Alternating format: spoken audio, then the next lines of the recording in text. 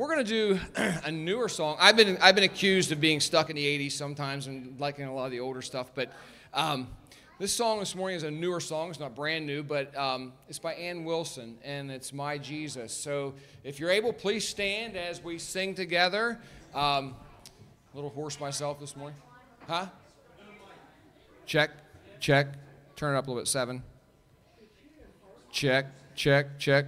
Turn up. Okay. And uh, oh, if you didn't know, Anne Wilson will be doing a free concert at the Grange Fair in Centre County, or, uh, or up at Centre Hall later this year. So we'll have some more information on that. You have to pay to get into the fair, which is a couple bucks, but she is doing a free concert. So if you're interested in that, let me know, and I'll give you the information on that later. So go ahead, David. Turn it up. Turn it up. Are you past the point of weary? Is your burden weighing heavy? Is it all too much to carry? Let me tell you about my Jesus. Do you feel that empty feeling? Cause shame's done all the stealing. And you're desperate for some healing. Let me tell you about my Jesus. He makes a way where there ain't no way. Rises up from an empty grave. Ain't no sinner that he can't save. Let me tell you about my Jesus. His love is strong and his grace is free. The good news is, is I know that he can do for you what he's done for me. Let me tell you about my Jesus. Let my Jesus change your life. Hallelujah. Hallelujah. Hallelujah. Amen. Amen. Who can wipe away the tears from broken dreams and wasted years until the past has disappeared? Oh. Let me tell you about my Jesus and all the wrongs that turn you Go and do if you could. Who can work it all for your good. Let me tell you about my Jesus. Makes a way where there ain't no way. Rises up from an empty grave. Ain't no sinner that he can't save. Let me tell you about my Jesus. His love is strong and his grace is free. The good news is I know that he can do for you what he's done for me. Let me tell you about my Jesus. Let my Jesus change your life. Hallelujah. Hallelujah. Hallelujah. Amen. Amen. Amen. Take my cross to Calvary. Pay the price for all my guilty. Who would care that much about me? Let me tell you about my Jesus. Oh, he makes a way where there ain't no way. Rises up from an empty grave. Ain't no sinner that he can't save. Let me tell you about my Jesus. His love is strong and his grace is free. The good news is that I know that he can do for you what he did for me. Let me tell you about my Jesus. And let my Jesus change your life. Hallelujah. Hallelujah. Hallelujah. Amen. Amen. Hallelujah. Hallelujah. Hallelujah. Jesus change your life. Amen. You may be seated. Well, good morning. Good morning. I heard that some people have birthdays coming up in June. How many of you have a birthday in June? All right. And how many of your birthdays are already on the calendar? I think I got them all. I think. Are you ready? All right. Let's do birthdays first. And Uh, while she's coming, you can see there are quite a few announcements. If you had a birthday or anniversary in May, June, uh, April, May, or June, and you haven't signed up for the party on Friday, you need to do so today so we know how many people are coming, all right?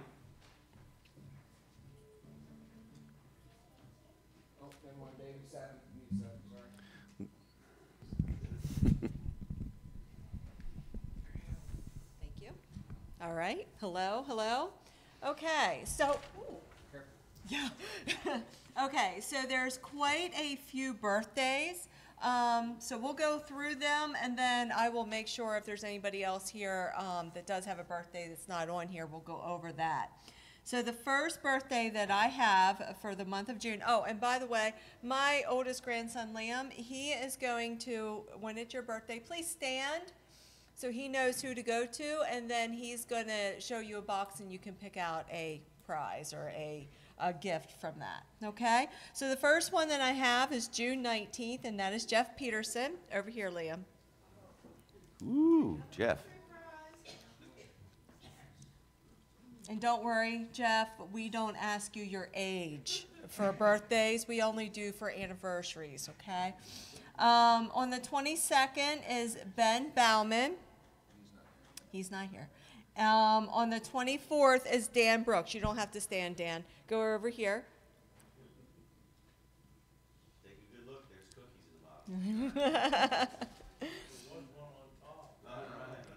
On the 25th, we actually have two birthdays. Um, the first one, uh, Dan Porterfield and Keith James. Neither one are here. Um, on the 27th, you're going to go clean in the back. Wait, is David? Where's David? Yep, you're going to go clean in the back to David. David Glunt.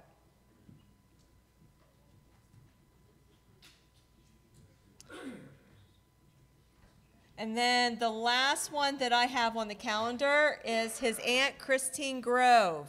Is Christine here? Not here today. Yeah, okay, Christine's not here. Is it here. The date's wrong. When is Christine's birthday?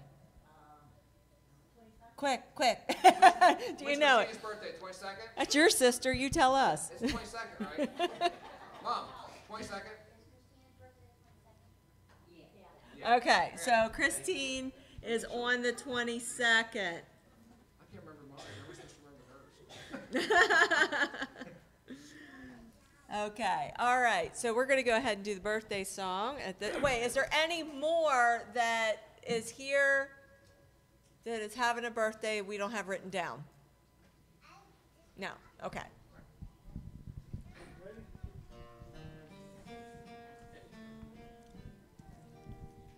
A happy birthday, dear friend, a happy birthday to you.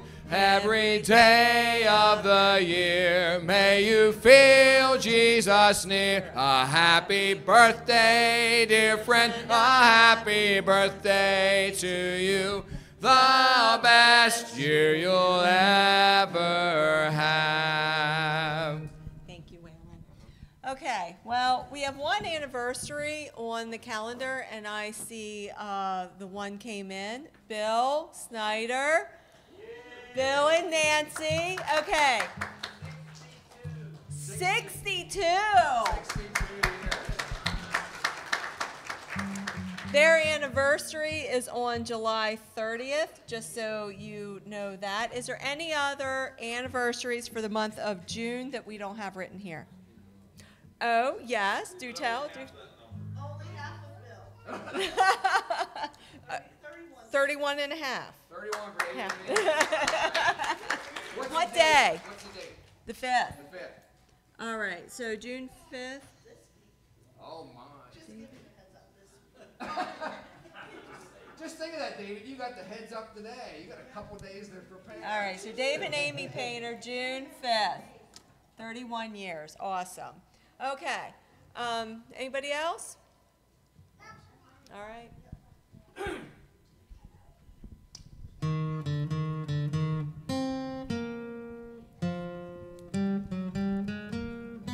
Let's sing to these happy couples. Sweeter as the years go by,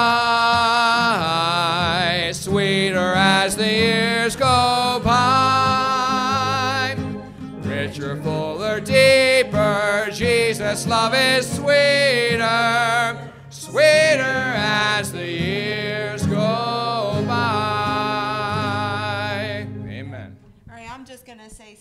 quick. Um, don't forget Father's Day on the 16th, okay? And just as a reminder, Rochelle's baby shower is on the 29th of June. We're taking the sign-up sheet down today. Um, so if you do want to sign up, please do that so we have a count today, so Rochelle and I can get to doing what we need to do. Thank you. All right, thank you. All right. Mute seven. You'll see the announcements on the back of the bulletin. There's quite a few there. Birthday anniversary party Saturday, 6 p.m. Uh, Wednesday services suspended on the 12th. And then uh, the Needhams are going to be in concert at 10:30 on the 23rd. Obviously, you can invite your friends and family. I know that most people will be going to their church on that morning, but this was an open date, and uh, they're willing to come for a love offering. I know sometimes you would pay to go see the Needhams. If you would like to hear them, you can check them out online. Just Google them, and they have their website, and uh, it's basically country Southern gospel, and I think we're really going to enjoy it. And uh, I'm looking forward to it as well. Blood Drive on the 28th. Family Camp Wednesday night is July 3rd, the day before the July 4th. I don't think there will be fireworks there, but there will be food at 5, between 5 and 6, and in service at 7. And there's always ice cream at Ice Cream Island after the service, sometimes before, but after the service. And uh, then you'll notice uh, we put on there the ladies' ministry cookout slash whatever else is going on that night and uh, that's my birthday. And then September. September 7th is our Sunday school picnic. I wanted to make sure that you put that on your calendars ahead of time. And uh, we're looking forward to a wonderful summer. And it might be that there are some things that are not on the calendar. If that comes to your mind, send me a text or a note, and we'll make sure it gets on there. I know there's a Sunday school board meeting coming up in. Uh, July as well. And that's on the calendar. There are calendars in the hall. If we need more, we can print more off. Uh, we can do that anytime. And August calendar is out there already as well, to the best of our understanding, anyway. So if you go out there and your birthday's in August and it's not on there, send me a text and we'll get it fixed before August 1st. Excellent. Would you stand with me this morning?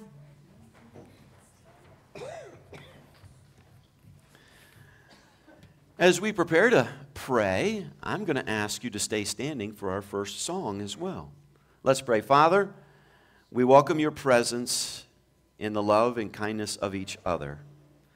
We welcome the Spirit's presence as you minister to us and as we bless you through our praise and worship. May our hearts be clear this morning. May we, may we be able to hear you clearly. And Father, may the cares of this world be relaxed.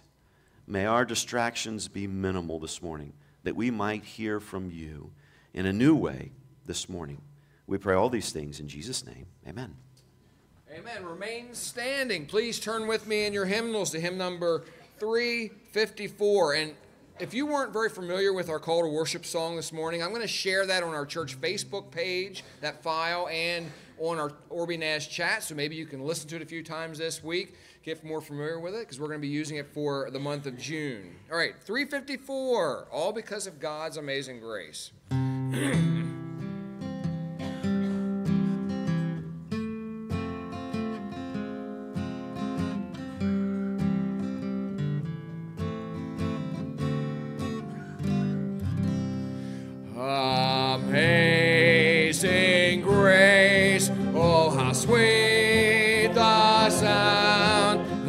saved a poor sinner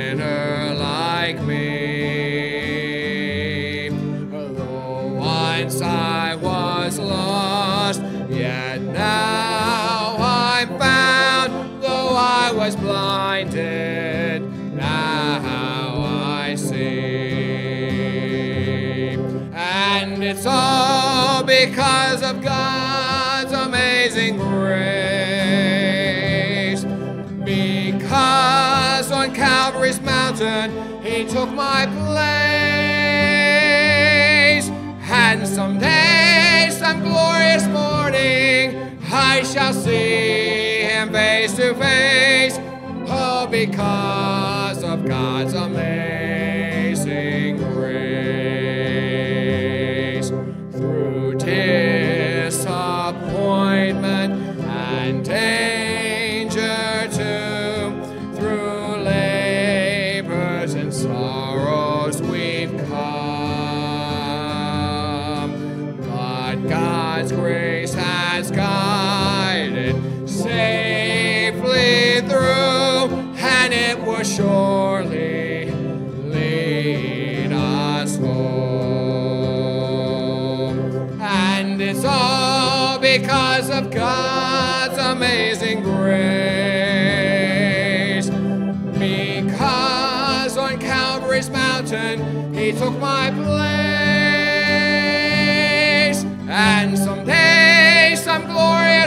morning I shall see him face to face, all because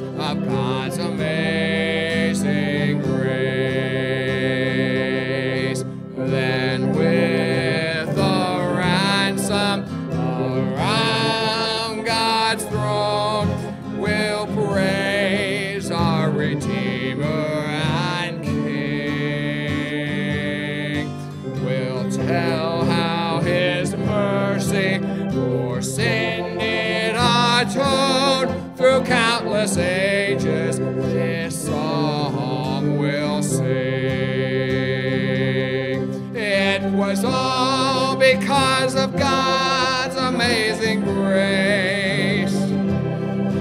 Because on Calvary's mountain, He took my place. And someday, some glorious morning, I shall see Him face to face. All because of God's amazing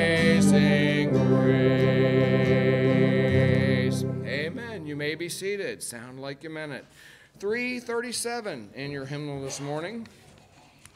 337. Softly and tenderly.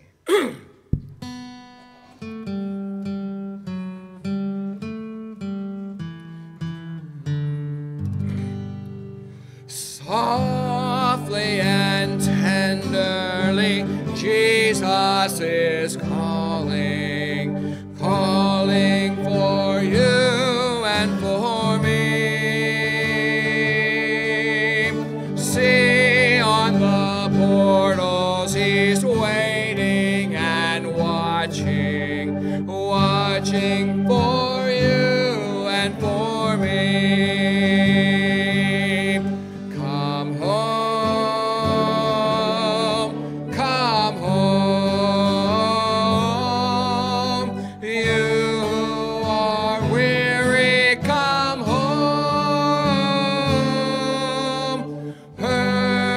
Yes, tenderly, Jesus is.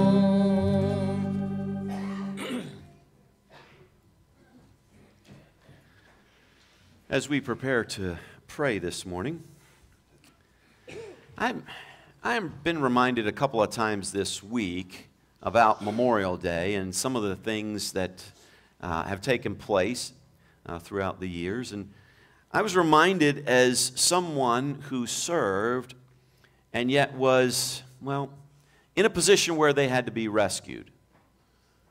And those who were sent to rescue, some of them died. And this person was saying how they felt so responsible to live a life that was full of integrity because someone was willing to die for them.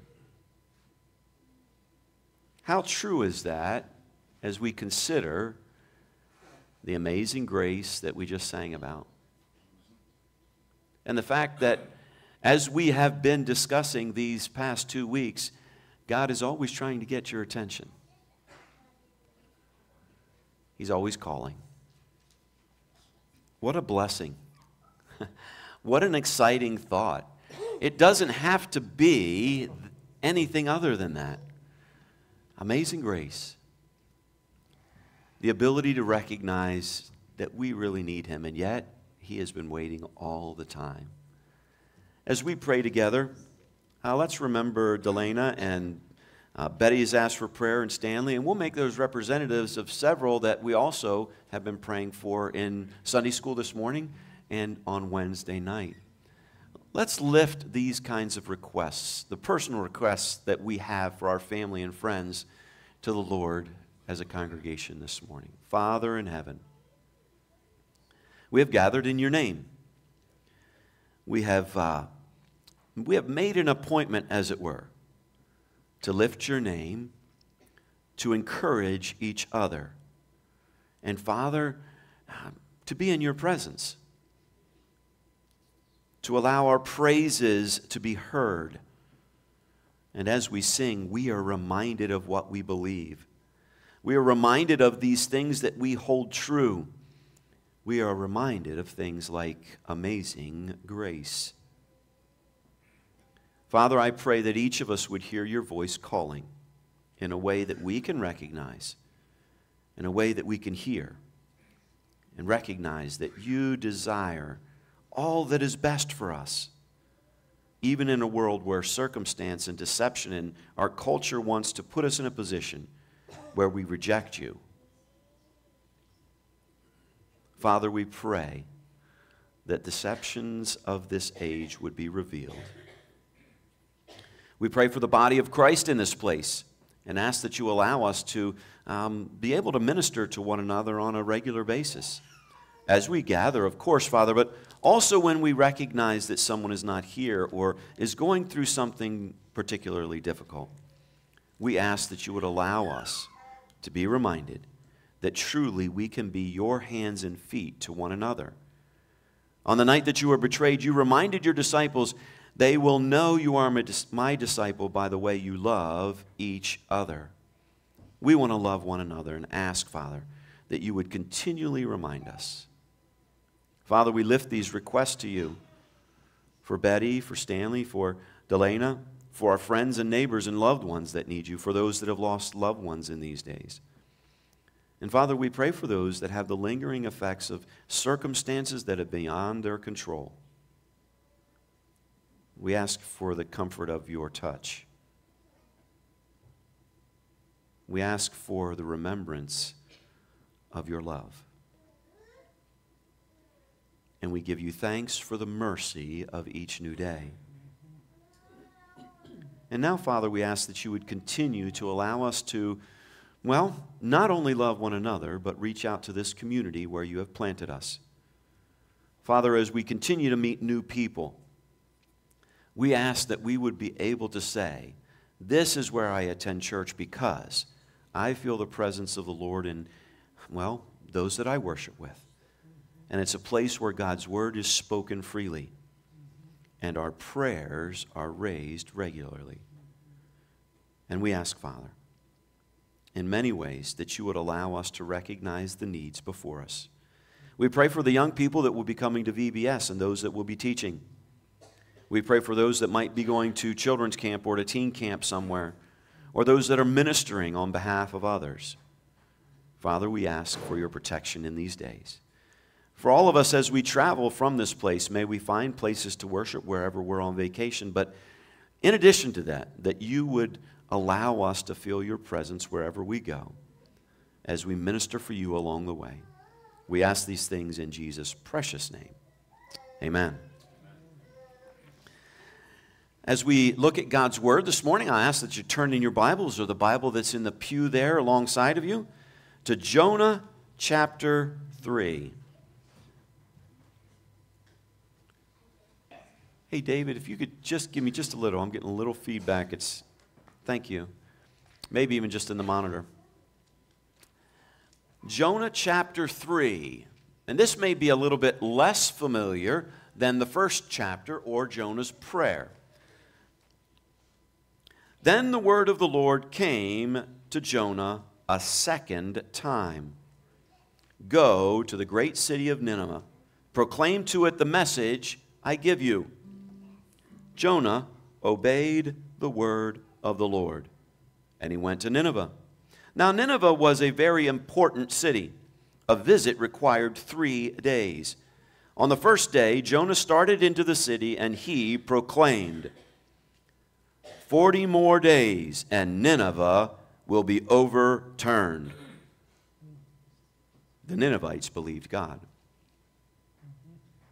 The Ninevites believed God. They declared a fast, and all of them, from the greatest to the least, put on sackcloth. When the news reached the king of Nineveh, he rose from his throne, took off his royal robes, covered himself with sackcloth, and sat down in the dust. Then he issued a proclamation to Nineveh By the decree of the king and his nobles, do not let any man or beast herd or flock taste anything. Do not let them eat or drink, but let man and beast be covered with sackcloth. Let everyone call urgently on God. Let them give up their evil ways and their violence. Who knows? God may yet relent and with compassion turn from his fierce anger so that we will not perish. When God saw what they did, and how they turned from their evil ways, he had compassion and did not bring upon them the destruction he had threatened. May God add blessing to the reading of Jonah this morning. Dave, I think W2 and W3 need to get back just a hair. I think that's where the, the feedback's coming from. All right, turn with me in your hymnals to hymn number 348, He Touched Me. Good old Gaither song. Gaither hymn, He Touched Me.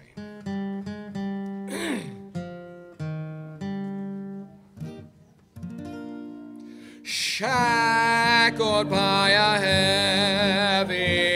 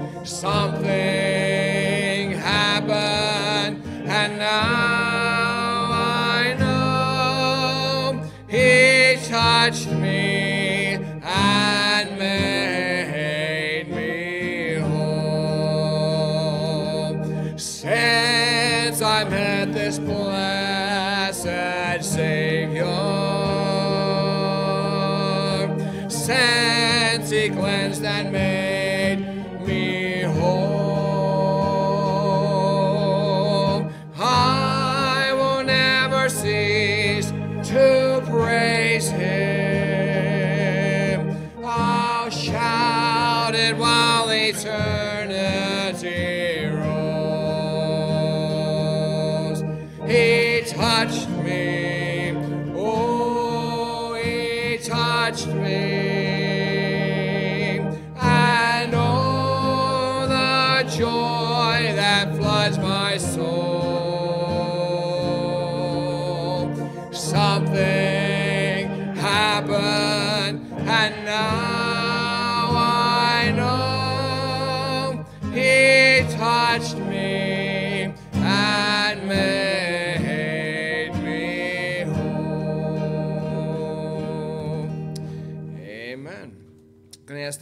Come forth at this time to take up of our morning tithes and offerings.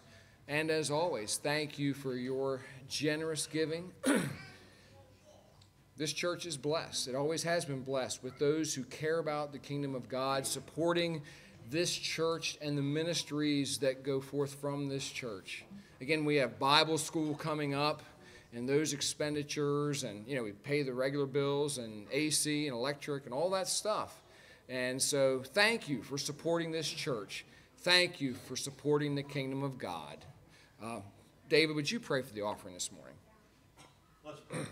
Heavenly Father, I just thank you for bringing us together today. Thank you for the beautiful weather outside, and I thank you for the wonderful fellowship in your house. Lord, I pray that you bless this time and open our hearts and our minds to your word. And I pray you would just fill this house with your Holy Spirit. Lord, we thank you for the gifts we're about to receive and pray that you would use them according to your will and according to your glory for the furtherment of your kingdom.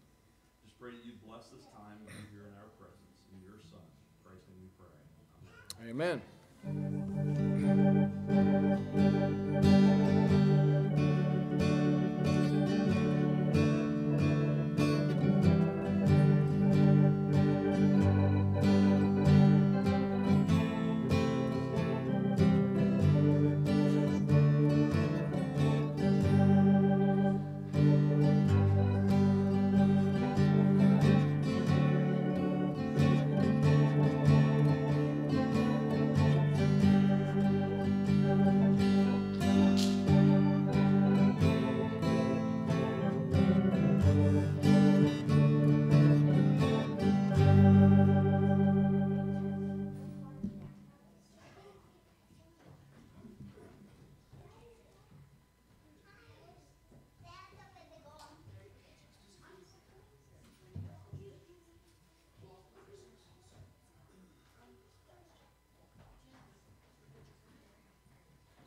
Well, you never know what kids are going to say when they get up, do you?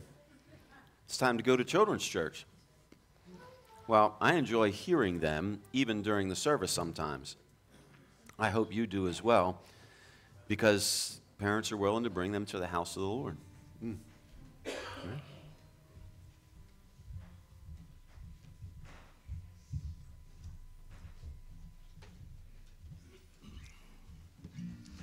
I've been wanting to do this song, waiting for Memorial Day weekend, and then last night I went out, got night air, and got a cold in my chest. So, so pardon the uh, worseness. but this is a uh, Ricky Skaggs done this called "Gone Home."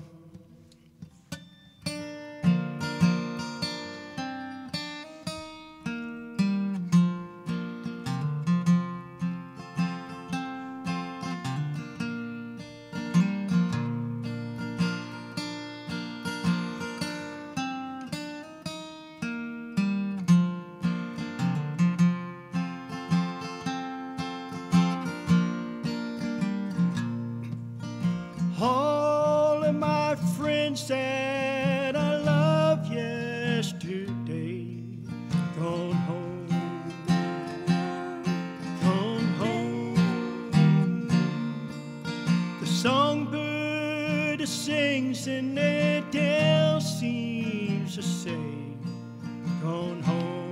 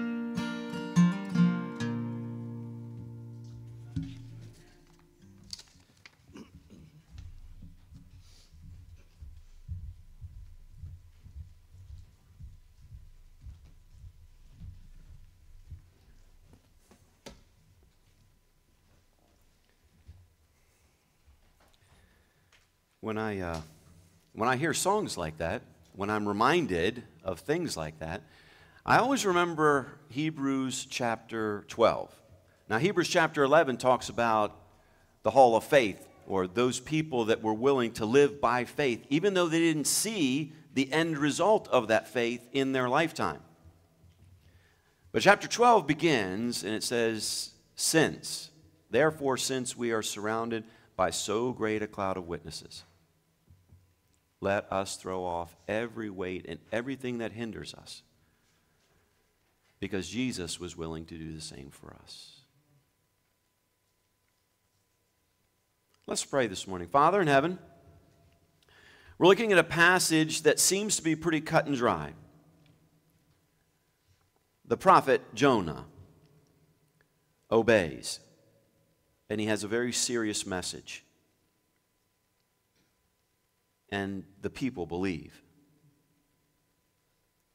Father, might we be so inclined when we read your word when we consider your call on our lives, when we think about the amazing grace, when we think about those who have invested their life in a spiritual way in us, might we be challenged today to consider your call and your word in a new way. In Jesus' name, amen.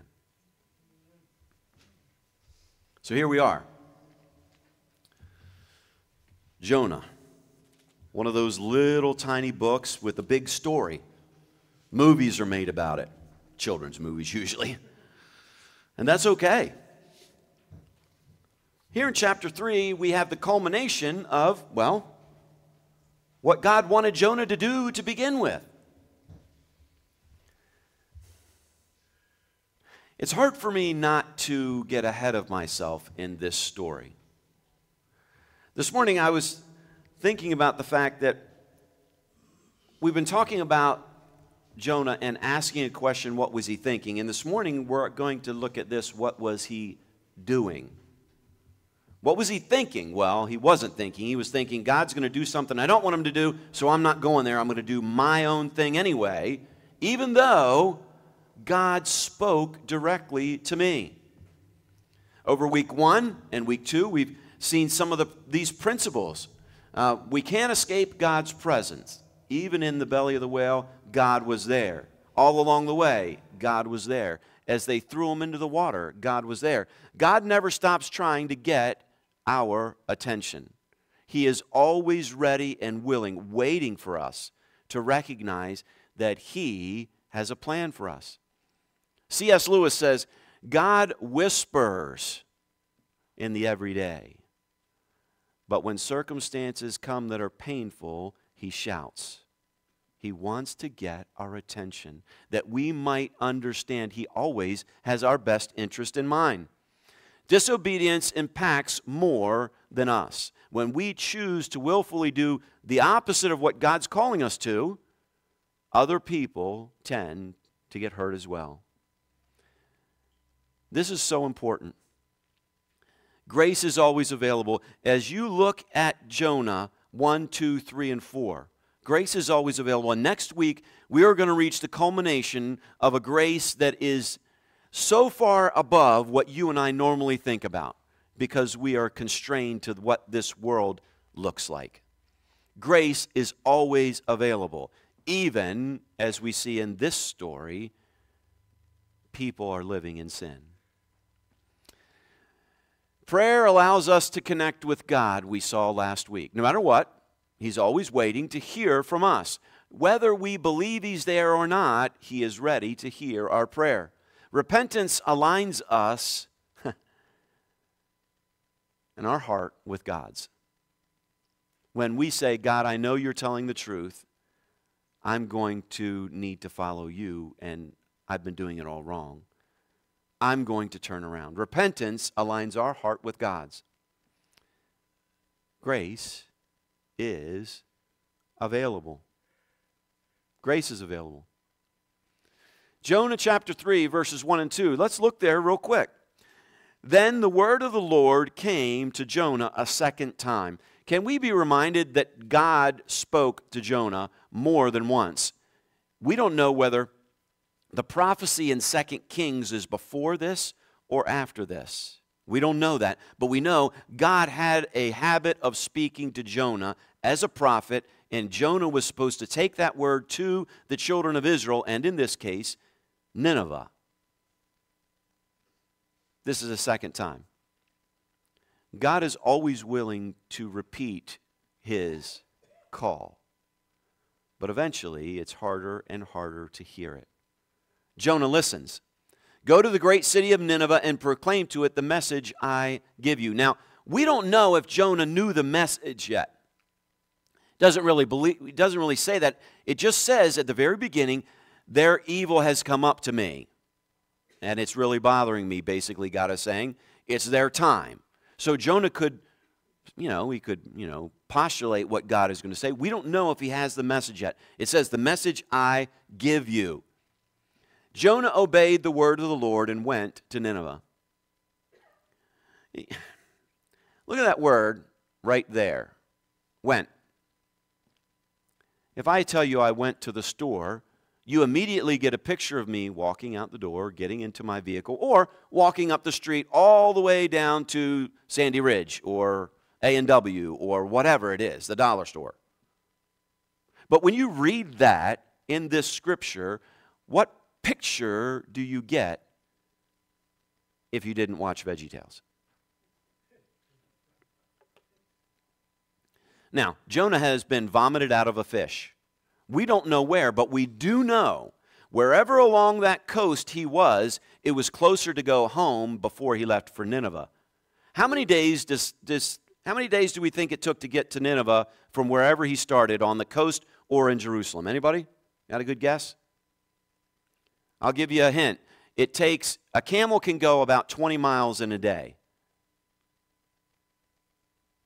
It's a lot of miles from Jerusalem or the coast to Nineveh. It would have taken him between 20 and 30 days, depending on weather, although the weather is probably pretty dry. So we picture Jonah being vomited out of the fish, walking a, a little while, and getting to Nineveh, still reeking of fish. I think Jonah was a pretty intelligent man. I think he went home and he got cleaned up. And while he was still toweling off, God said, Hey, by the way, I still want you to go to Nineveh. Jonah got dressed. He got whatever he needed for a journey because he went. Sometimes you and I need to be aware when God calls us to do something, He helps us to go through the steps to make that trip. Sometimes, well before He asks us to go on that trip we can see God's faithfulness or we understand what it's going to take to get there. I don't think Jonah went alone. I think he probably had a couple of servants and a couple of camels, and along the way they sang around the campfire at night. Probably not kumbaya. But whatever it looked like, it was a journey, a personal investment to get there. It wasn't like he jumped on a plane and arrived the next day.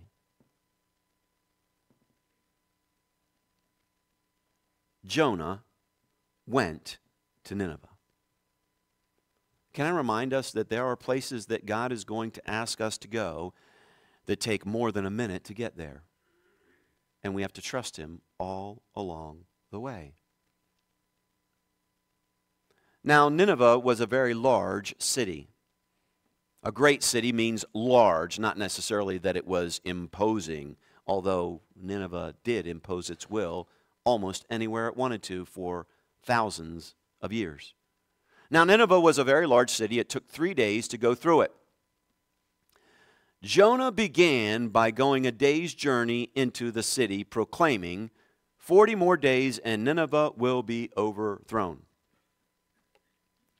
I get this picture living around Baltimore and D.C. when I would travel through town there would be times when somebody would be standing on the corner with a megaphone saying the end of the world is near. One of my favorite, uh, how many of you have read Far Side? The Far Side. One of my favorite, I don't know if someone shared this with me or I found it on my own. There is a bunch of people on the street outside a window on the second floor, and someone is looking out. And the signs all say, Down with Wayne. Wayne must go. And the caption is, The world was looking for a scapegoat.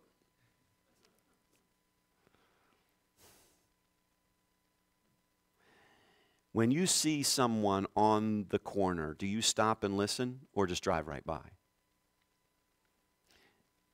Do you consider that someone you don't know from a place you've never been has a message that might have an impact on your life. And when they say to you, hey, God's going to get you, you guys are messed up.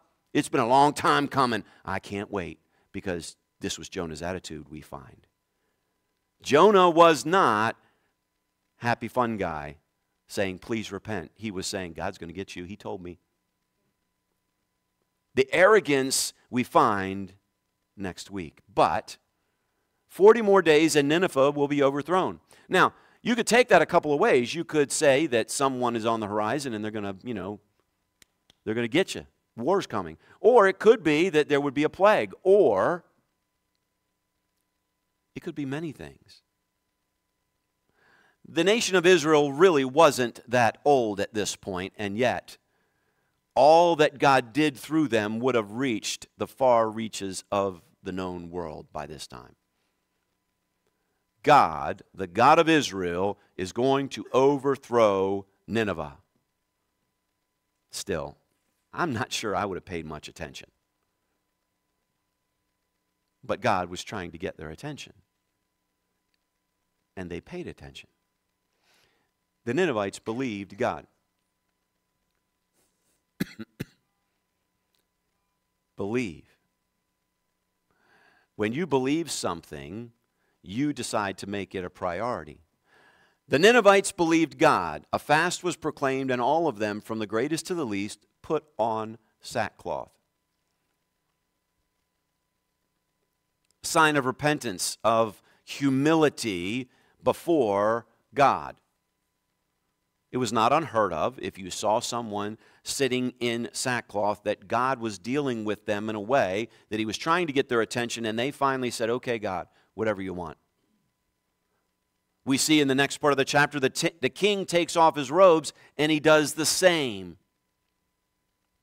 I don't know about you, but if you Google Assyria, which is the nation that Nineveh was a part of, and you Google and you see down through there the kings that we know about, because in our day, there's a whole lot more history been uncovered over in that part of the world that reveals those kings were not easily swayed. They were mean and nasty, to say it nicely.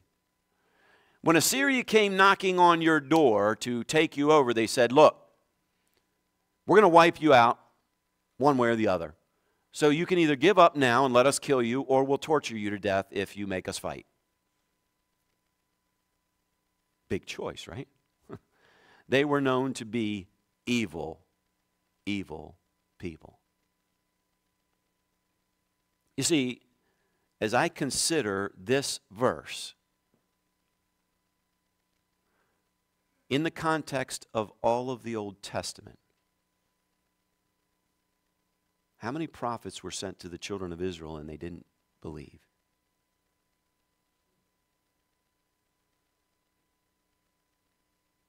One day in, the Ninevites say, okay, I think this guy's serious. Why? I don't know. We have no idea of all of the circumstances surrounding when Jonah walked through the gates and began to speak. But God had orchestrated something that the children of Israel missed time and time and time again.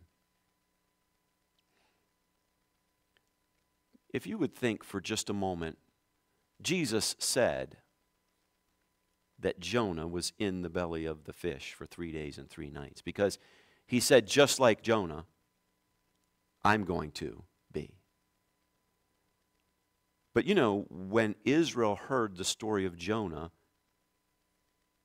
they weren't real happy about it either. For the same reason we're going to find out next week that Jonah wasn't happy about it. You see, this story shows that there are people who choose to believe God and God moves on their behalf. When God is trying to get your attention and you listen, that's step one. But you have to begin to act as if God is telling the truth. You could say, God, I believe in you, but there is no faith in words alone. Now, there's nothing I can do to earn salvation, but God knows when I've repented and I'm moving in a new direction. This scripture tells us that. When God saw what they did, verse 10. When was the last time God saw what you did and recognized that you want to serve Him?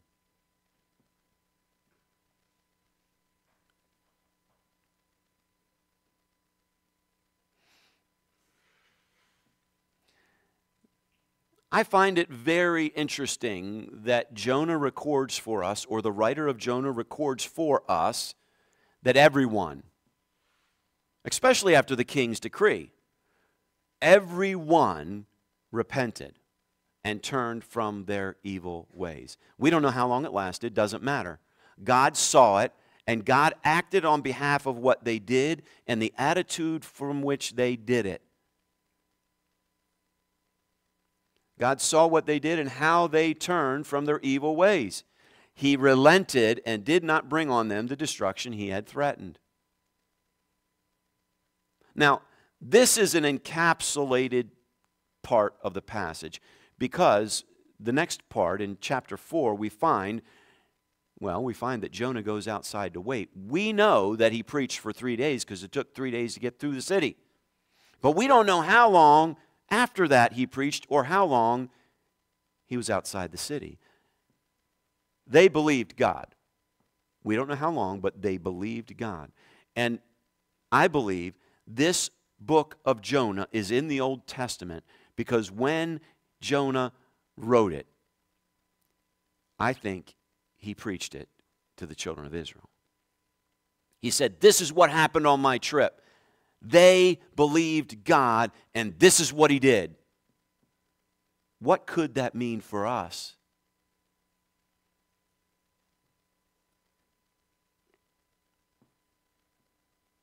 This is one of those books in the Bible that helps me to understand God wrote it. Because if I were the children of Israel, I would not have included this in the canon of the Old Testament. I said, you know, I really want to, I don't want to be reminded of that.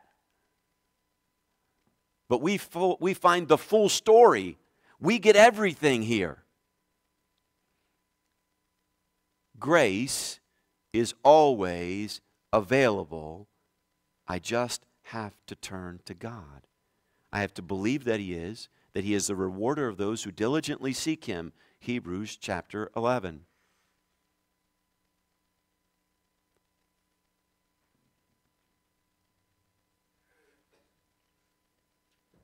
There are consequences that Jonah went through because he disobeyed God. In chapter 1 and chapter 2, we see this grace poured out on Jonah. In chapter 3, we see grace poured out on this city. Why do we think grace is not available for us? It's always available. Sometimes those circumstances or consequences of this life are just God trying to get my attention. He's trying to say, wait, stop going that direction. I have something so much better for you. I have a plan, a purpose that allows you to impact time and eternity. And that's my goal with your existence. Jonah. Chapter 1, he's disobedient. Chapter 2, he's repentant. Chapter 3, he's obedient. But as we find out next week, he has a really bad attitude. When we look at this passage in 3, can we be reminded there is no sin that separates us from God if we're willing to turn in Christ in repentance to the Father. Nothing that's gone before matters. Right now, you have the opportunity to make a choice. Right now, today, as you hear my voice, don't put it off, God says. Do it today. Make a choice today and do something about it. That's why we say if you've decided to follow Christ, tell someone about it. Let them know God has got a hold of your life. That's when we begin to make it real, when we tell others, God has met with me. That's why we sang what we sang today. It's all because of God's amazing grace. He touched me. I'll never be the same. These are songs of testimony. Do I believe that God is telling the truth? When we look back on Jonah and we see some of the details, Jonah is just like you and me, only God speaks to him directly for the children of Israel and for the Gentiles. You see, Jonah is the only Gentile ever sent to a Gentile nation. And when he goes, they respond immediately. And yet, year after year, dynasty after dynasty, or king after king in Israel, one of them does what's right and then one of them does what's wrong. Then God sends a prophet and says, You guys are messing up. This was my covenant. This is what you're doing. Stop doing this and do that, and you'll be blessed again. Time after time after time. If we grow up in church, if we've been around church people and we have the opportunity to take in everything that we find in God's Word and we still are up and down in our life, it's because we haven't really believed God completely. In the Church of the Nazarene, we call that moment when we decide, I want what you want, God, no matter what, we call it sanctification. We call it entire sanctification when we give up everything and say, God, you're in charge now. You see, when we get saved, it's like being on a tandem bicycle. We're on front, we still have the steering wheel. We're both pedaling. Jesus is right there on the bike with us, man. He's given us power. He's allowing us to get where we need to go, but we're still steering. But in entire sanctification, we get off the bike and we get on the seat that has a steering wheel that doesn't work anymore. This is a moment in life when we finally recognize God's way allows me to be all that I can be in this life because this life is preparation for eternity. This life is not for me to get rich. It's not for me to have everything I ever dreamed of. It's so that when I get to heaven, I am the man or woman that God intended me to be completely. That we might all grow up into the likeness of Christ, Paul says, more than once. Jonah allows us to get four different pictures of what it looks like to be a believer, to know that God is God, to see that He is at His hand at work, to recognize that God truly is who He said He is. And His response in one is disobedience, in two is repentance, in three is obedience. And next week, we're going to see where most believers are today. We're pointing our finger at a world that looks like it's going to hell in a handbasket when God is saying, wait a minute, you are my child. Stand up and tell the truth through the way you live first. Then I will be allowed, I will be able to use you to speak the truth in love. This morning, as we consider God's Word, my challenge is just this Can we remember? God never stops trying to get our attention. And this is not judgment. Can I remind you? When you recognize that God is speaking to you, it's not judgment. It's the power of the Holy Spirit in you, which means you are a child of God. If you're not, it means you have the opportunity to become a child of God. God never stops trying to get your attention, even today but obedience is on God's terms. You see, Jonah's obedient, but with the wrong attitude. The Ninevites are obedient on God's terms. They get rid of everything that's standing in the way and they say, humbly, God will do what you want us to do. Obedience is always on God's terms, not mine. That's because He's God and I'm not. Obedience impacts more than just us. I, I can't overstate this. Therefore, since we are surrounded by so great a cloud of witnesses, my children's generation and their, my grandchildren's generation has yet to have a cloud of witnesses because many of us, myself included, have not been who we were supposed to be. But God is faithful and grace is available. Period. Grace is available today. I need to be reminded that obedience is not on my terms. God loves me with an everlasting love. His grace is available, and all I have to do to access is access that grace is to say, You're God, and I'm not. This is God's Word over and over and over again. Throughout the history of the Old Testament, through the teaching in the New, through the gospel message, Jesus says, I am the bread of life, the light of the world. I love you with an everlasting love. And then he went out and proved it.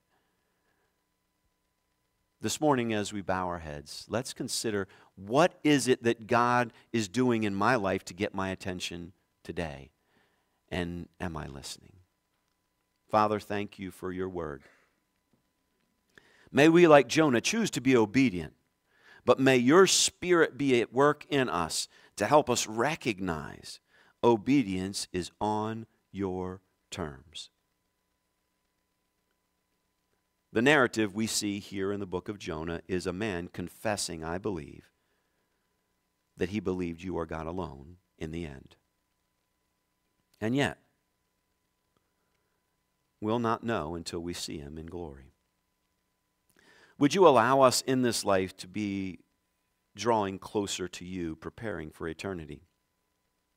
May the circumstances of this life help us to recognize who you are in a real way so that we might have no question and so that others around us might see in us that we are your disciple, that we love one another and we love them. We ask all these things in Jesus' precious name. Amen. Would you stand with me this morning?